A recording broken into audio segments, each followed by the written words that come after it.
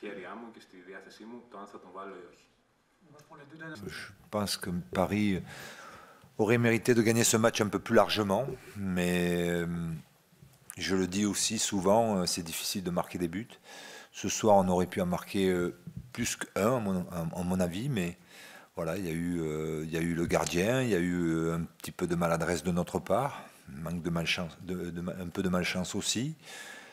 Toujours est-il que l'essentiel est assuré, c'est une très très bonne chose.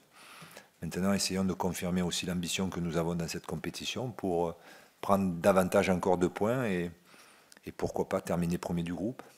Parce que c'est, comme vous le savez, je pense que c'est un avantage. Un petit avantage, mais un avantage quand même.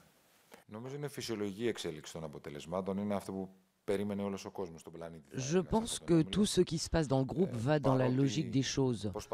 Tout le monde attendait que le Barça et le PSG se qualifient.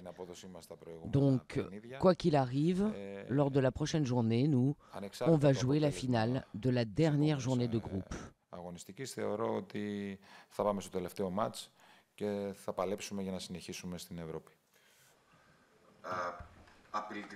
Merci beaucoup.